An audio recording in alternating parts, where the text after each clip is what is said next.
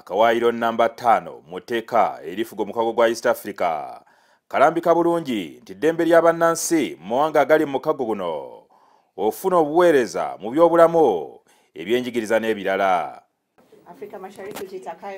Ebitongole by'obwannakyewa ebikumi bitaano okuva mu mawanga ga africa nga bikulembeddwamu ekitongole ki initiative for social and economic rights okuva mu uganda beekubidde enduulu eri palamenti y'omukago etudde mu kibuga nairobi e kenya nga baagala amawanga agali mu mukago guno bawe obuweereza obumala eri bannansi. Nga tetuli bamativu ku mpeereza eri okusingira ddala ku byenjigiriza ku byobulamu wamu n'enteekateeka za gavumenti ez'enjawulo ezidduukirira abantu abatalina bwesobozi bano nga bali wamu n'omubaka wa uganda gerard siranda okwemulugunya kwabwe bakukwasiza sipiika wa paalamenti y'omukago guno joseph nakirutimaana ng'ebyobulamu si birungi ng'ebyokusoma si birungi nga workforce gye tulina ey'abantu kumpi obukadde ebisatu mu ataano nga tebusobola kutereera mu ggwanga uh, mawanga ga east africa. So twetaaga east african community okuvaayo.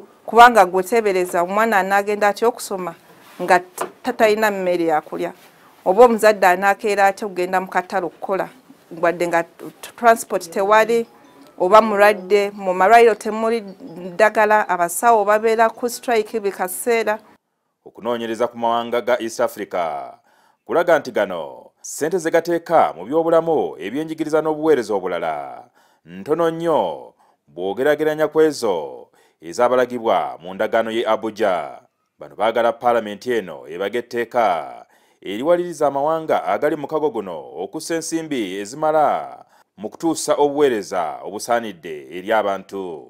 Nze ndowooza mu maaso awo nja kuba nvaayo ne private members bill okumakinga sure nti east african community tuba netteeka erya region erikwala nga liharmonizinga public health services. Sipiika nakiritumaana abasuubiza nti ensonga zaabwe zakukolebwako kubanga ze zaatekesaawo omukago guno And I'm very happy because what we're defending is also what I, I feel I could defend. jingo francis ntv wane nairobi mu kenya